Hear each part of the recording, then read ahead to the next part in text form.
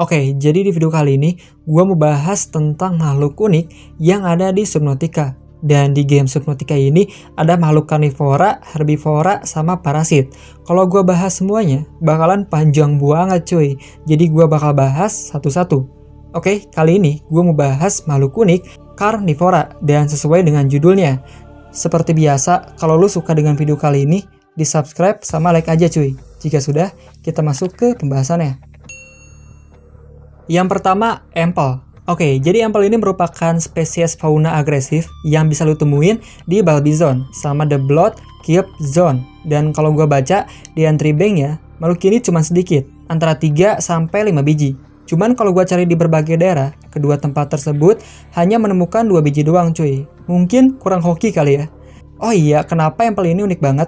Karena di tubuhnya dia bisa nyetrum gitu. Makanya di sini gue pakai mode kreatif, soalnya kalau gue pakai mode survival, pasti bakalan modar gitu cuy. Udah itu seperti yang bisa lihat, bentuk dari makhluk ini keren banget cuy. Kayak lagi main di kebun binatang gitu kan. Dan kalau lo bertanya, kenapa makhluk ini hanya hidup di dua daerah tersebut? Oke, karena dia bisa menyeimbangkan dengan lingkungannya, dan juga sesuai sama warna listriknya. Next, yang kedua ada river flower. Oke, jadi Reaper Flower ini merupakan makhluk mengerikan yang bisa lo temuin di Lost River dan biasanya suka berkeliaran di sekitaran tulang gargantuan Leviathan. Makhluk ini agresif banget cuy, makanya lu harus pakai kapal selam kalau mau ngedeketin makhluk ini, kecuali kalau lu lagi main kreatif mode.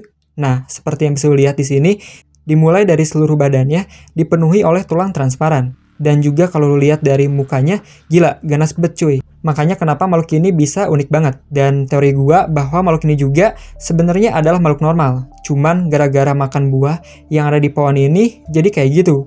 Dan hal itu juga yang ngebuat makhluk ini mirip banget sama Ghost Leviathan. Next, yang ketiga dan keempat ada Bitter dan Blackter. Oke, jadi kedua makhluk ini merupakan spesies karnivora yang agresif banget cuy. Emang kalau lihat dari bentuknya kecil banget, yang di mana bitter mempunyai warna tubuh merah, sedangkan blackter mempunyai warna tubuh lebih kuning. Nah, kalau lu bandingin juga, mereka punya siklus hidup yang sangat berbeda, di mana bitter cenderung hidup di atas permukaan, sedangkan blackter hidup di bawah laut banget. Dan ini teori gua bahwa bitter dan blackter itu adalah keturunan dari tulang yang seperti bisa lu lihat di lab Lost River ini yang ada tulang penelitian itu. Dan itu mirip banget cuy sama bitter dan blackter ini. Kalau lu punya pendapat sama kayak gua, komen aja di bawah cuy. Next, yang kelima ada Bone Shark. Seperti yang udah gue bilang di video-video gue sebelumnya, bahwa planet Subnautica pertama sama Below Zero itu adalah planet yang sama, yaitu 4546b.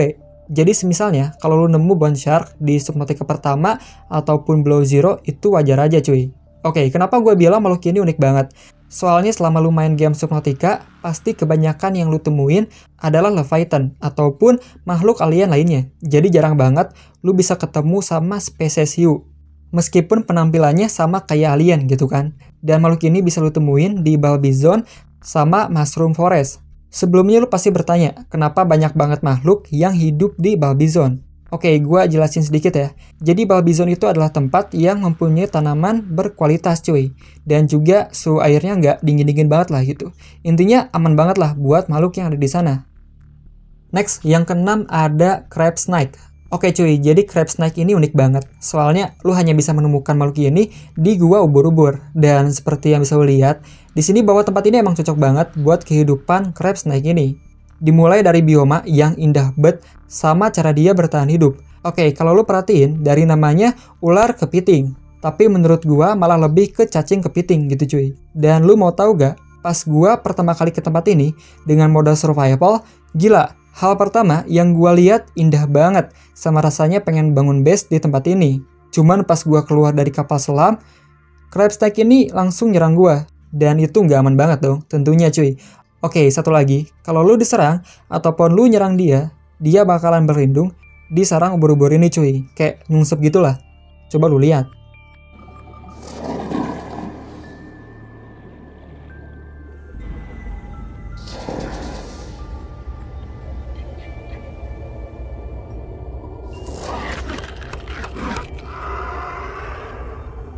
Next, yang ketujuh, crab squid. Sebelumnya kita udah bahas ular kepiting, dan sekarang kita masuk ke makhluk yang unik dan juga keren banget cuy. Oke, jadi ini adalah cumi kepiting yang bisa lo temuin di sini cuy. Gua tulis aja, soalnya ada banyak banget, dan kalau lo lihat bentuk cumi ini hampir mirip sama Van Garden. Cuman ukurannya doang yang beda gitu kan. Kalau lo nanya, bang makhluk ini bahaya atau enggak? Ya tentu bahaya dong cuy. Namanya juga karnivora gitu kan. Seperti yang bisa lihat di sini, gua pakai kapal selam aja liar banget, apalagi renang gitu kan. Dan kalau gua renang juga, di sini gua pakai mode kreatif. Ya karena lu bisa lihat juga dia kayak ngeluarin aliran hijau. Aliran hijau gitu. Dan kalau kapal selam lu kena sama aliran hijau itu, kapal lu nggak bakalan bisa gerak cuy. Dan harus cepet diperbaiki. Itu pengalaman gua pas ketemu makhluk ini. Kalau pengalaman lu pada gimana cuy? Next, yang kedelapan ada crash fish. Perasaan dari nomor 1 sampai 7 makhluknya dalam-dalam cuy. Oke, sekarang kita bahas makhluk yang unik banget tapi lu bisa temuin di kedalaman permukaan. Dan gue yakin 90% dari lu pada yang mainin Subnautica ini pasti kesal banget sama crash fish ini cuy. Soalnya lu baru mulai kan, pasti lu bakalan nyari item buat keperluan lu. Nah, terkadang pas lu lagi nyari-nyari di gua kecil gitu, Kan terus udah itu tiba-tiba lu lihat ada batu kecil dan isinya ikan yang unik. Ketika lu deketin langsung meledak dan itu ngasilin damage yang cukup gede. Hal itulah kenapa gue masukin makhluk ini ke nomor 8. Next, yang kesembilan ada Mesmer. Oke, sebelumnya gue yakin 80% dari kalian gak menemukan makhluk ini. Bahkan gue pun gak tahu cuy sebelumnya ada makhluk ini gitu kan. Lu bisa temuin makhluk ini di kedalaman 150 sampai 250 meter. Kalau gue di 160 meter lebih dalam sedikit. Nah, untuk definisinya, makhluk ini adalah spesies kupu-kupu versi alien. Sekilas ukurannya emang kecil banget, makanya kenapa orang-orang gak bisa menemukan makhluk ini. Di sini gue coba pakai mode survival buat ngetes damage-nya cuy. Dan seperti yang bisa lihat juga, damage-nya lumayan sakit. Tapi tunggu dulu cuy. Bayangin kalau di sekitaran lu ada makhluk ini dengan jumlah 5-10 biji. Itu bahaya banget gak sih? Next, yang ke-10, Sand Shark. Oke, okay, mungkin menurut lu, makhluk yang gede itu lebih berbahaya. Sebenarnya itu salah cuy. Malahan yang lebih kecil itu lebih berbahaya. Karena lu mau punya kapal sekuat apa pun, kalau dia bisa masuk, itu sama aja bohong cuy. Atau bahaya banget. Oke, jadi sensor ini adalah makhluk karnivora yang bisa lo temuin di atas permukaan laut. Dan seperti yang bisa lo lihat, makhluk ini tuh serem banget. Di mana giginya emang lebar dan juga tatapan makhluk ini gila, bikin greget gitu cuy. Dan ya, seperti biasa, kalau gue udah ngerasa makhluk ini bahaya banget, gue bakalan pakai kreatif mode. Soalnya lu lihat lah cuy, cara dia nyerang aja kayak warga kesurupan anjir. Oh iya, satu lagi makhluk ini bisa berkamuflase sama pasir cuy. Next, yang ke-11 ada Stalker.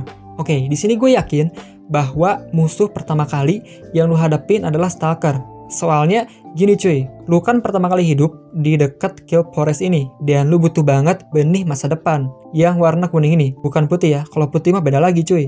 Nah, ketika lu udah masuk ke lokasi Kill Forest ini, pasti lu bertatapan langsung sama Stalker ini. Sebenarnya makhluk ini nggak begitu agresif banget, cuman kalau lu deketin pasti nyerang. Dan ya, jadi permasalahannya adalah makhluk ini banyak banget cuy. Emang nggak begitu agresif. Cuman kalau jumlahnya sebanyak ini sama aja bohong gak sih cuy? Next, yang ke-12 ada lava lizard.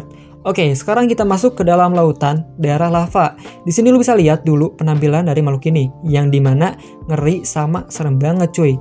Bahkan ketika lu pertama kali ke daerah lava, lu pasti ngira makhluk ini sejenis Leviathan, padahal mah bukan gitu cuy.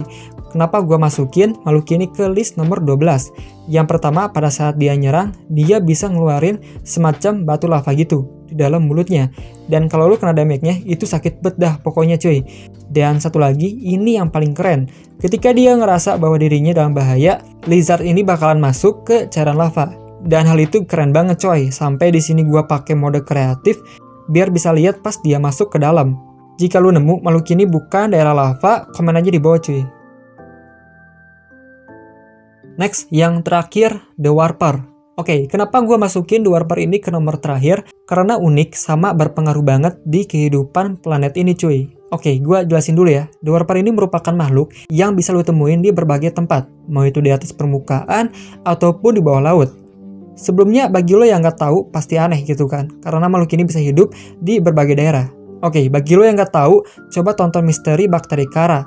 Linknya ada di deskripsi atau gua taruh di layar kanan atas. Oke? Oke, balik lagi ke topiknya. Sedikit informasi juga bahwa The Warper ini bakalan ngebunuh makhluk yang udah terkena bakteri kara berskala besar maka dari itu makhluk ini bisa tersebar di mana-mana.